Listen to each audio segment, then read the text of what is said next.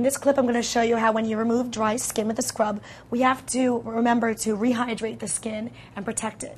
Using a toner like this, we're just going to spray it.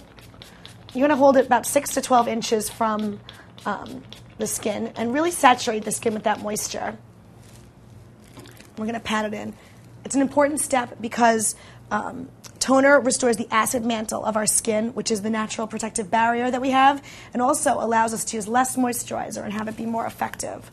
I'm also going to apply um, mineral sunscreen for our clients. And I like the mineral varieties of SPF because they offer full coverage, UV and um, UVB and UVA blockage.